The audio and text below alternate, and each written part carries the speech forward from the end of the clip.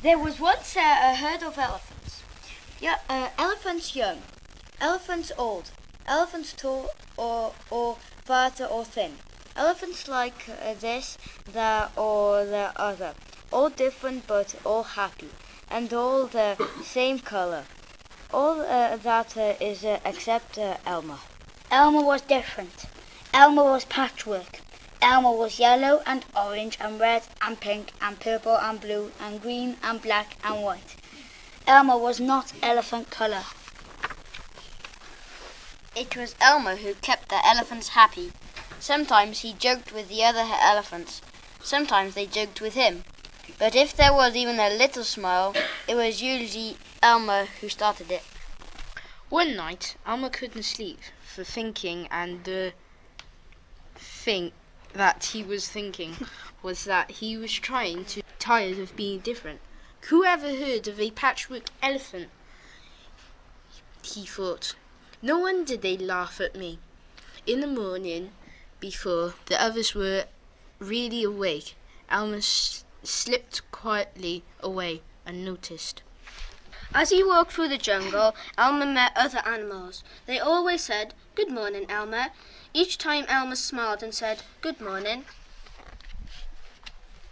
After a long walk, Elmer found what he was looking for a large bush. A large bush covered with berries. A large bush covered with elephant coloured berries.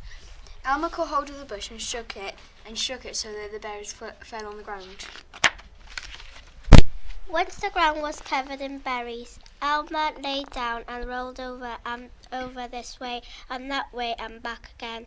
Then he picked up bunches of berries and rubbed himself all over, covering himself with berry juice until there wasn't a sign of any yellow or orange or red or pink or purple or blue or green or black or white. When he had finished, Elmer looked like any other an- elephant. After that, Elmer set off back to the herd. On the way, he passed the other animals again. This time, each one said to him, Good morning, elephant. And each time, Elmer smiled and said, Good morning, pleased that he wasn't recognized. When Elmer rejoined the other elephants, they were all standing quietly. None of them noticed Elmer as he worked his way into the middle of the herd. After a while, Elmer felt that something was wrong. But what? He looked round, same old jungle, same old bright sky, same old rain cloud that came over from time to time. At last, the same old elephants, Elmer looked at them.